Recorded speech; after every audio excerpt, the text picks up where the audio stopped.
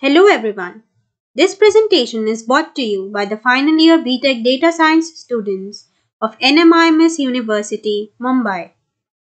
I am Salonii Tari and along with my classmates Sanika Mhadgut and Neha Koppikar will be talking about CryptoKitties, a famous dApp based on Ethereum blockchain. So let's begin. First, a brief history. When the game came out in November 2017, no one expected its massive popularity and success outside of the blockchain enthusiasts' world. Multiple kittens sold for upwards of $20,000, and a rare kitten even sold for about $1 million. 15% of all Ethereum network traffic at one point was dedicated to this game alone, making it the most popular smart contract on the network. It also got 2 lakh users who spent effectively $20 million within a month of the game's release. When asked about the idea behind this viral game, the founder said that it was to gamify the features that leverage blockchain's unique applications. The game's success by many is attributed to the fact that CryptoKitties hit the mark in effectively teaching consumers about some of the inherent benefits to blockchain without anyone needing a computer science degree, and thus making blockchain accessible for mass consumer adoption by using cats. What's crypto about these kitties? CryptoKitties is a cat of the mobile game originally developed by Axiom Zen, a Canadian company. These kitties are not cryptocurrency but crypto collectibles. What are crypto collectibles? They are just like Pokemon cards but digital. And in the case of CryptoKitties, the kitties are digital collectibles which are built on the Ethereum blockchain. So you can collect unique illustrated cats with specific digital genes which will breed and produce more kitties. And all these kitties, that is collectibles, can be bought, sold, traded using Ether, a cryptocurrency. CryptoKitties is decentralized and every transaction in the game is logged and stored in the Ethereum blockchain. Your digital cat can't be deleted even if the company shuts down or the game is sold off to some other company. Faking ownership or losing your cat is virtually impossible. Unique ownership. The physical appearance and the gene traits of a cat are stored in a smart contract and are immutably recorded on the Ethereum blockchain. Every kitty on the game has a unique appearance and the owner of that cat is the only one with access to its unique combination of traits. Each kitten has a 256-bit genome that holds the genetic sequence to all the different combination of traits that a kitten can have. Currently, there exist 4 billion possible combination of cats based on these traits which the founders call cat tributes. Pricing is determined by supply and demand. Fancy cats with rare traits, for example cats that look like birds, vampires or sailors, go for more than the common cats. And to complicate matters, some cats may have unusual recessive genes that will make their offspring more valuable. NFTs. First, let me talk about fungible tokens. Fungible tokens are indistinguishable and interchangeable. For example, if I have a $5 bill, then I can exchange that bill with Sanika for an equal value of $5. Bitcoin is also a fungible token. Non-fungible tokens or NFTs can't be swapped, as no two NFTs are alike. Each blockchain-based cat is unique. So if I send Neha a CryptoKitty and receive a CryptoKitty from her in exchange, then the one that I receive will be completely different from the one that I have sent. And this concept of unique tokens that are valuable precisely because they are scarce and distinguishable is called digital scarcity. It emulates real world physical scarcity. These NFTs can be programmed, stored, and implemented on any blockchain which supports the ERC721 standard. Let's do a brief dive into the key mechanics of the game. The game is run via a set of 6 Ethereum smart contracts and users interact with it via their own Ethereum address. Currently, the easiest way to do that is by using the Chrome extension MetaMask, which gives you the ability to send and receive Ethereum directly in your browser. You would then navigate to the CryptoKitties website, which is essentially an interface to interact with the smart contracts so you can buy, sell, and breed kittens. Open source CryptoKitties open source its API and smart contracts, which can be used to build other apps or games on top of CryptoKitties. Such games can have cat fights, racing, and have accessories for the CryptoKitties, etc. Thank you. Over to Sanika. Thank you, Salonii. I am Sanika Mhadgut and I will be explaining about the key features and the architecture of CryptoKitties. What is gas? Each transaction on must be verified by the ETH miners, which requires a transaction fees to be paid to the miners, which is known as gas. The cost per transaction depends on the volume of transactions and mining capacity of Ethereum at any moment. During times of high volume, the cost can shoot up. As the game becomes more and more popular, the transaction times were slowing down. To solve this problem, the developers decided to increase the gas fees to make sure that people didn't have to wait long periods of time before their CryptoKitty transaction was completed. Gen Zero cats. These are cats which do not have any parents and are released by the company itself. Because of their scarcity and highly desirable attributes, these are the most expensive and valuable cats. Genesis was the first Gen Zero cat, which was sold at approximately $140,000, which is more than three times the all time high price of Bitcoin. Only 50,000 Gen Zero cats can exist. Some of these Gen Zero cats were released during the first year were sold in a smart contract on Ethereum blockchain. They are sold by descending clock auction. That is, sellers choose a high opening bid and a minimum closing bid and a time frame for which their auction is to be run.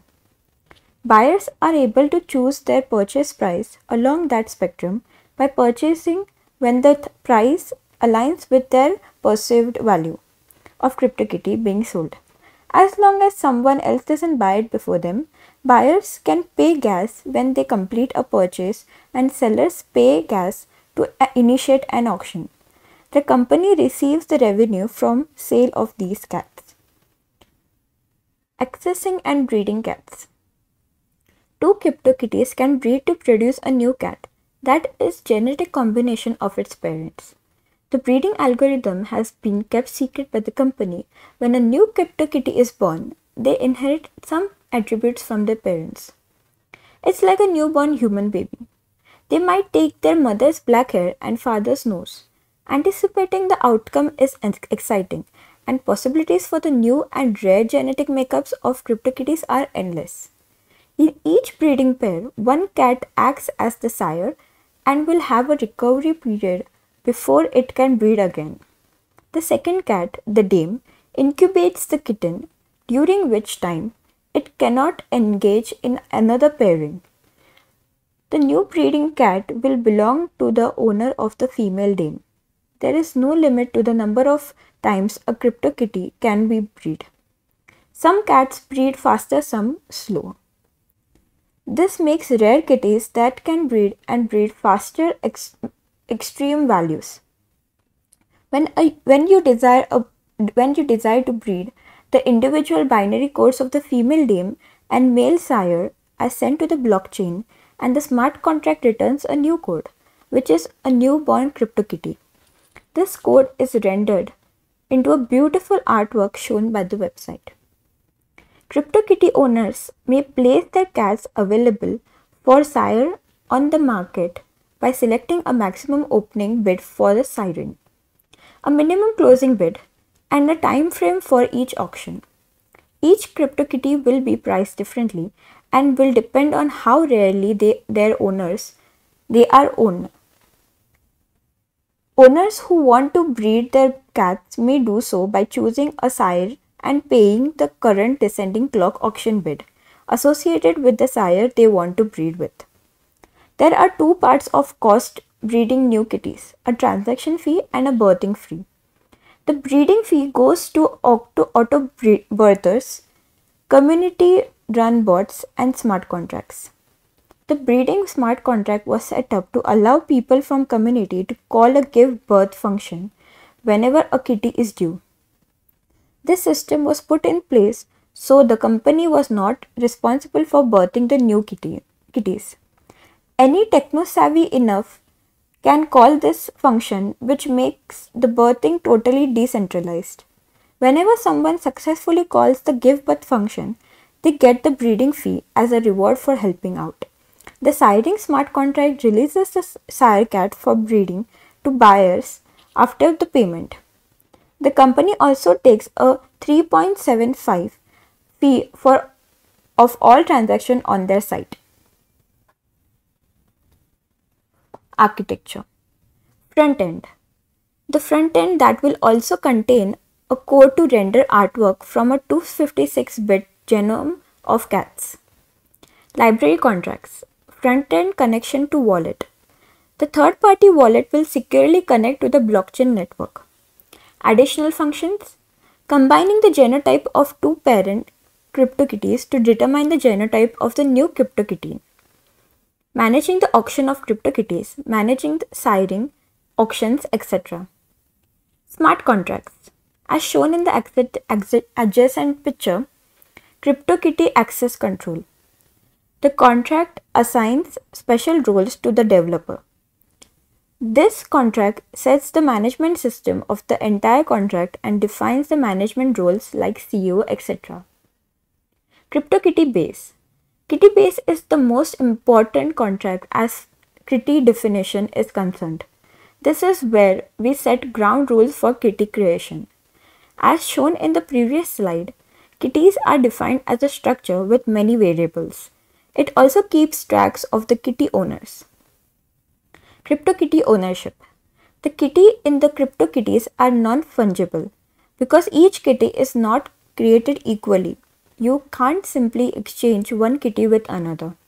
The kit CryptoKitty tokens follows ERC721 formula. CryptoKitty breeding. This is the contract where we set the functions required for the two kitties to breed and produce a new kitty. Child gen genes are created by calling the genscience.mixgenes function as shown in the picture. The breeding algorithm is super secret and is handled by the contract that implements GenScience interface. The algorithm is closed source and not open to the public. CryptoKitty auctions. Here we have the public methods for auctioning or bidding on cats or siring services. Auction creation and bidding are most mediated through this core contract. CryptoKitty minting. Here COO has the power to create promo cats and Gen 0 cats. There is a limit to the number of promo and Gen 0 cats that can be created. CryptoKitty Core. This is the main contract that runs on the Ethereum blockchain. This contract inherits all the functions from the previous contracts. Thank you. Over to Neha. Thank you, Sanika. I am Neha Koppikar and I will be walking through the steps to get started with CryptoKitties and also point out a few important aspects of this company. This is what the homepage of CryptoKitties looks like. To get started, we have to click on the Start Meow button, which will redirect us to the MetaMask page. MetaMask is a crypto wallet that helps in accessing the apps for authentication purposes. Once authenticated by MetaMask, we land on a page that helps us buy the Ethereum currency on Coinbase. The next step is the fun step, exploring the kitties at the marketplace. This is where we can filter out our desired kitty based on our preferred attributes and pricing. Once we have chosen our e-kitty, we purchase the kitty using the Ethereum we had previously purchased. Now, this is not where the transaction ends. Once we request to purchase a kitty, a purchase has to be verified by independent miners on the blockchain, after which the purchase is complete and we are a proud owner of the kitty we chose. We can also try out different combinations and breed new kitties with the one we had purchased and have more fun. Now let us understand a bit more about the company. Education through gamification. Blockchain is a really complicated concept, especially for beginners. People who are already aware of this technology know what smart contracts and distributed ledgers are, but it becomes a daunting task for people who do not understand this technology and want to learn it. To introduce something complex, making it fun works, and therefore CryptoKitties is a platform that helps us learn blockchain using the education through gamification approach. Innovations. The artwork and content is unique, making it seem like you are collecting artwork. Users can create new content through breeding, and it involves the concept of decentralized ownership and trading in the collectibles market. CryptoKitties has demonstrated frictionless international trading of digital assets on a blockchain at a large scale. The game has proven that assets can be managed and traded in a decentralized manner without the in- involvement of intermediaries. If CryptoKitties was treated as a peer to peer digital assets exchange, it would provide proof of concept. Sustainable revenue and ICOs. Initial coin offerings, ICOs, have proven themselves a viable funding model for blockchain projects. The mechanics and goals for the two models are similar, but in the case of CryptoKitties, it offers genuine utility to the user upfront. For instance, most ICOs promise to build whatever technology they are pitching with a white paper. Investors send cryptocurrencies to the ICO issuer and then wait for the tech to be built. In the meantime, the ICO may issue a token and allow investors to trade it which gives rise to speculative prices around an unbuilt piece of technology. With CryptoKitties, the software is already functional. The CryptoKitties game amounts to a sort of token sale, except the tokens are the kitty. Inadequate architecture. The game clogged Ethereum's network during the peak of its popularity dealing at least one token sale and forcing CryptoKitties to raise its fees, leading to, leading to criticisms that Ethereum clearly lacks the scale to handle such demand.